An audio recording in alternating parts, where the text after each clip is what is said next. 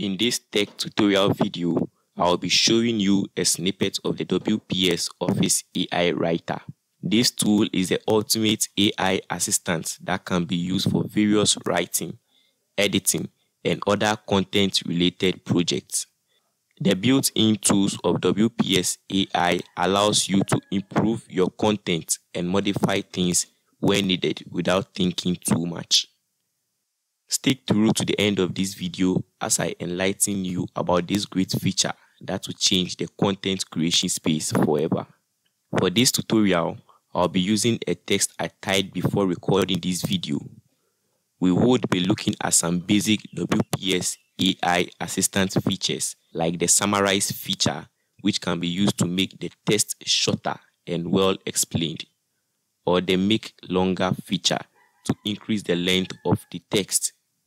The explain feature to give some clarifications for the text and the make shorter feature to reduce the length of the text but add the important keywords to give the text meaning. So this is the text I want to apply the various AI assistant features to. So I will select everything, then click on the WPS AI prompt that comes along with the pop-up ribbon. And you can see the various features, but the first feature I would want to look at is the summarize feature. So I'll click on that. So now you can see that the AI is at work trying to summarize our text for us. When it has completed, you can preview it before making any decision on the results given. You can choose to tell the AI to rewrite another summary of the text, discard it, or replace the previous one with the results given by the AI. So I'll click on replace. Now you can see our new test which was generated by AI. You can clearly see the difference between the previous one and the current one. The next one I would want to look at is the make longer feature. I'll click on that one and you can see that the AI is at work again.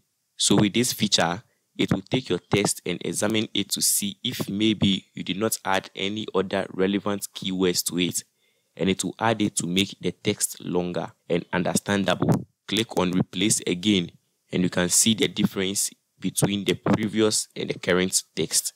So again, I want the AI assistant to do something for me. And this time, I would want it to do some explaining about my text for me. I'll go through the same process again and let AI do its work. It has completed its work and provided me with an in-depth explanation of my text.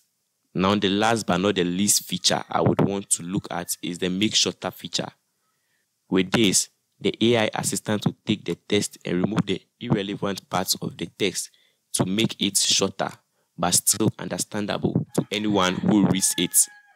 So that is basically it for this video.